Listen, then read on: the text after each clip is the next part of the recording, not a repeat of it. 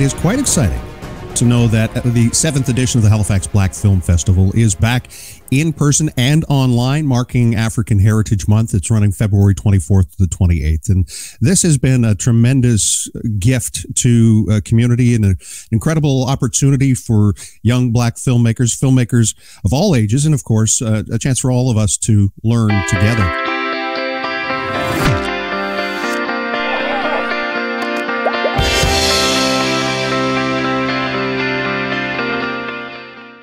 And and I love how uh, the well the passion that goes into this is a real reflection of the person who came up with it. And uh, I've been able to uh, speak many times over the years with Fabienne Colas, and she joins us here today. She's an actor, she's a producer, uh, she's a publicist, she's a creator of this event. And uh, Fabienne, it's so lovely to see you again. I hope you're well.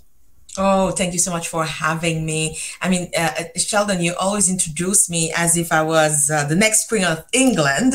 Thank you so much. I, I am flattered.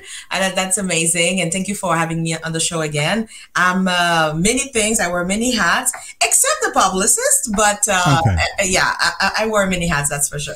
Uh, you're certainly promoting the festival, and that's uh, why we're here uh, today to to speak to this. Tell me, when this began as an idea, did you ever think seven years later you'd be spreading out into other communities, other cities for other festivals?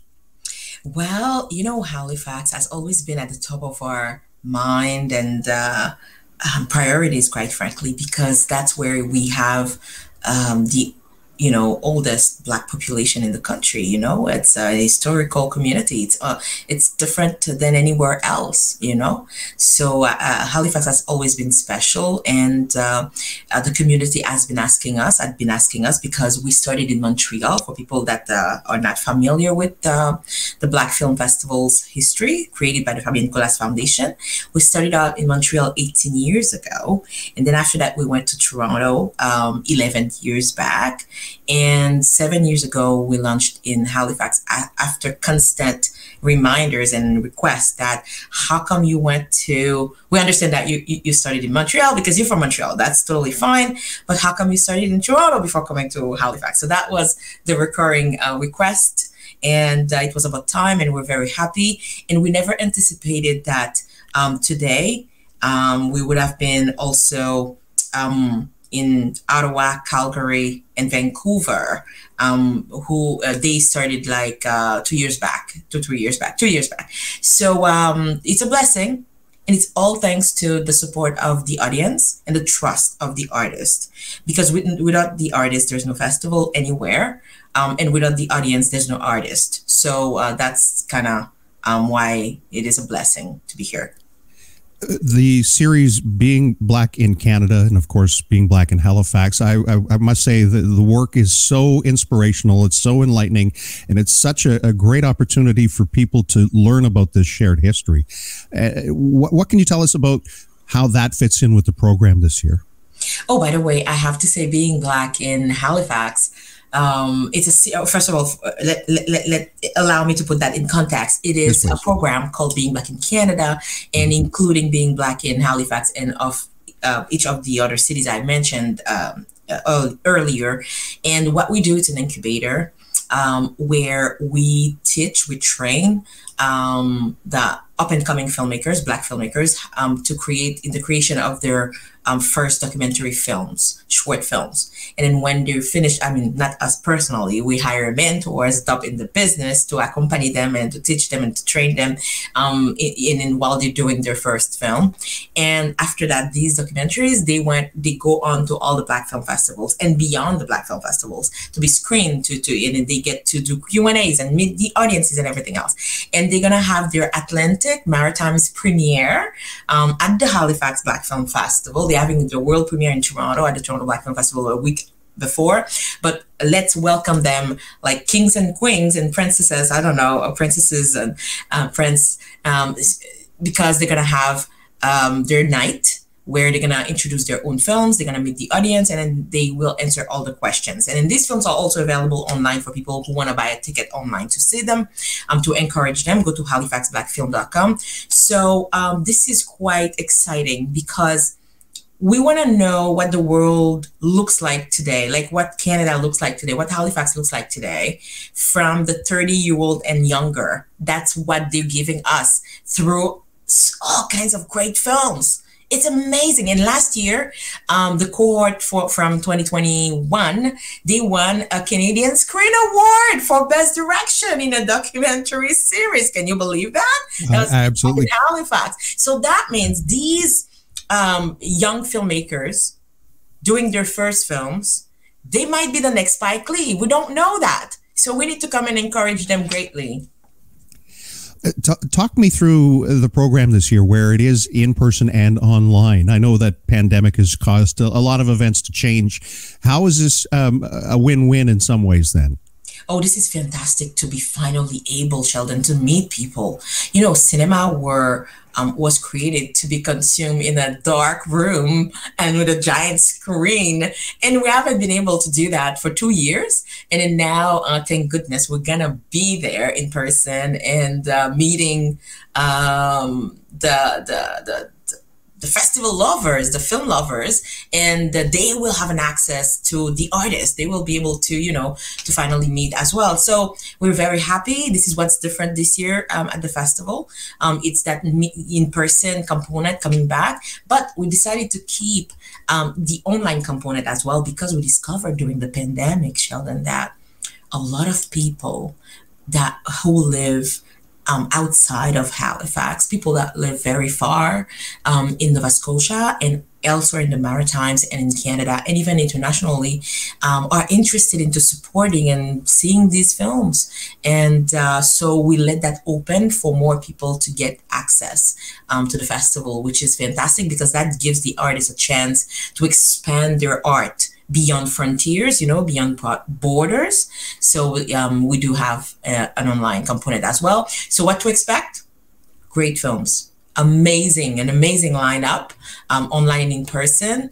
And we're gonna have about 70 films from various countries. And we're opening with a great film called Aisha, um, talking about immigration. Um, Aisha, uh, she's a, a, girl from Nigeria and then going to Ireland to seek asylum. And then she will be confronted um, um with um, all the bureaucracy and all the problems that you know, like uh, asylum seekers usually have um, when they're coming from the South. And uh, it's, it's a beautiful, touching film uh, from, you know, from like uh, it's coming from a good place and we believe that those are the conversation we need to have. It's very uplifting.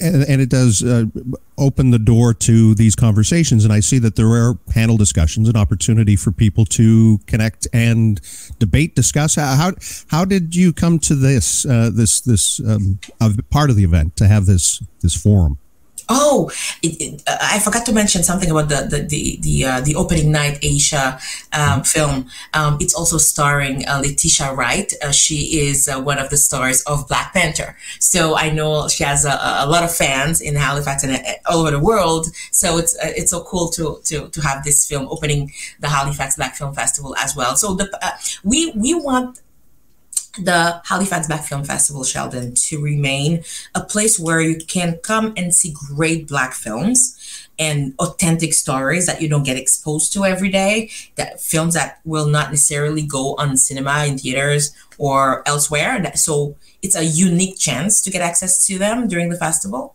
um, whether online or in person. But we also want this festival to be a great forum, as you mentioned, where we can discuss um, all the challenges um, the industry is facing, all the challenges and opportunities as well. Like it's not just about the challenges. We need to acknowledge them and work towards solutions, but we also need to say, hey, there are some more opportunities here on the table. How can we seize them more? Because, um, for example, we have problems with funding a lot in the Black communities in um, in our industry they don't get funding. So why is that? Is it because they don't know how to access them? Is it because they don't know um, where to go? So we talk about these things as well because it's important um, to to foster access um, for funding and then to know how to get things better. So uh, that's what these forums are important and they are all about. I love how you reminded us that the theater, the cinema, is this collective human experience where you you're all laughing at the same time or crying at the same moments. And as an actor, you you know what it's like to go through where you have an idea and you want to present it. It, it must be quite exciting for the filmmakers to have that experience again, a live in person uh, experience to share those types of works. It, it must be quite lovely. Oh yeah, and then there's nothing that can replace that human connection that you can have um, with one person after like a film, and then uh, an audience member, like a festival goer, would come to the artist and say, "Hey, you know what I like about your film? It's that, that, that, that." I mean, this is why artists make their work this is why it's it's it's that gratification of meeting somebody that this film will be touching you know?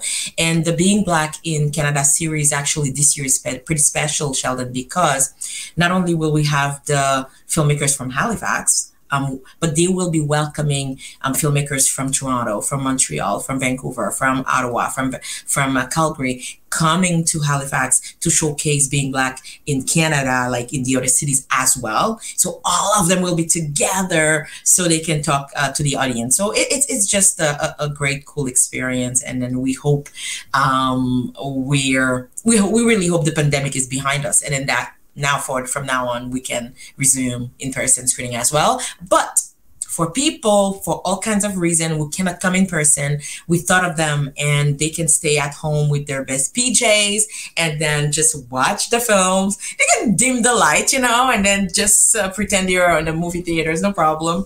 Um, they can buy an online pass for that and you mentioned that the passes are, are available for sale. Uh, it's coming up February 24th to 28th. All access pass, uh, $59. It says all access. Is it all access? What what do you get for the, the $59? Oh, you get access to all the films that are online. Um, most of the films are online because we had limited uh, possibilities to screen films in person. Actually, the online component uh, allow us to screen even more films because there's there's so much time um, in person where you can screen films. So we can enhance the offer like you know to to to give even more online. So that's the blessing. And $59 for 70 films i mean it's less than a dollar a film. I mean this is a unique change change for um, Haligonian and everybody else in Nova Scotia to really um, dive into these films. Not just people in Nova Scotia, because people from all over Canada can have access as well. You know, to dive into these films and then get uplifted, get educated, get inspired, inspired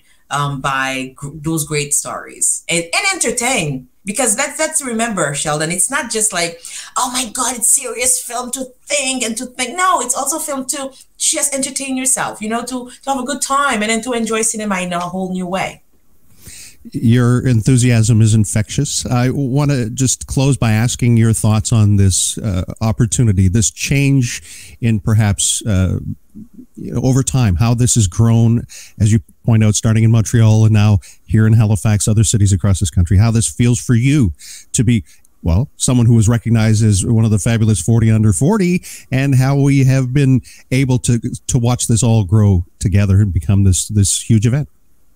Wow, I'm I'm grateful. I'm really grateful to uh, people in Halifax, Dartmouth, and the Prestons, North Preston especially, um, and everywhere else. You know, people now since the pandemic, people online, you know, um, from all over the place, they are the one making this festival so successful. They are the one making this festival so important um, because they participate, they support, they buy tickets, they buy passes. I mean, people don't now buy tickets only for themselves. They buy tickets for their loved ones. You know, they help promote, they support, they share on social media.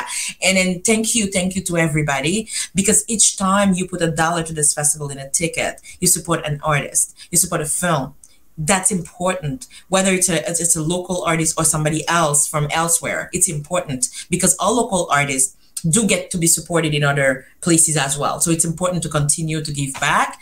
Um, I'm grateful. That's that's the only word that come to me. It's really thank you, and I'm grateful. And please continue to come out in great numbers and to share this because it's your festival after all. Um, and uh, yeah, I couldn't have dreamed that because you never know. Each city is different And Halifax has proven that, hey, Halifax has the Halifax Black Film Festival. And also, people participating, um, the artists participating at the Halifax Black Film Festival, they get to be eligible to submit their films later on to the Canadian Screen Awards. For example, they get to get access to some special funding that require you to have participated in some festivals. So, um, this is really a, a, useful and necessary festival right here in, in Halifax and uh, in Nova Scotia. We'll invite people to go to halifaxblackfilm.com. That's where you can find out more, see the program, uh, buy your tickets. And Fabienne Colas, it's so wonderful to see you again. And I wish you nothing but continued success. It's always so lovely to catch up with you. Thank you. I cannot wait to see everybody in person, Sheldon, from the 24th until the, the, the, the 28th. 28th, we will be online as well for longer. So please check it out. And then uh, let's enjoy films again the way they were supposed to be or online.